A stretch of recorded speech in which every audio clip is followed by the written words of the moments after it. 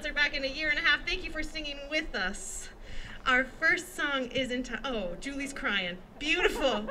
Anything to make someone cry. Our first song will be conducted by my student teacher, Sarah Strobel. Please welcome her.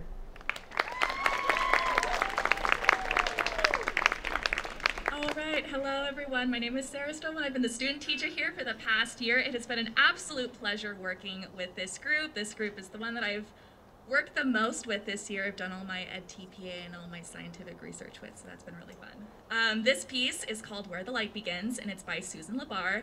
And she's a very, very prominent uh, choral composer now in the 21st century. Um, this piece was composed for the 2019 National Associ the National Conference for the American Choral Directors Association in Kansas City, Missouri. Um, I picked this piece, one, because the harmonies I think are pretty cool, and two, um, I thought the text was especially moving, so I'm going to read it to you now. Perhaps it is not begin. Perhaps it is always.